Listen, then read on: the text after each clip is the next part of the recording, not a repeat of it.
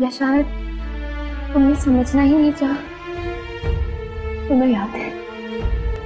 जब हम, अगर तुम बुरा ना मानो तो एक बात कहूँ तुमसे।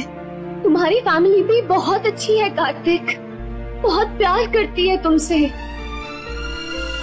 पर वो होता है ना कभी कभी ये आप चाहे कितनी ही कोशिश क्यों ना करें।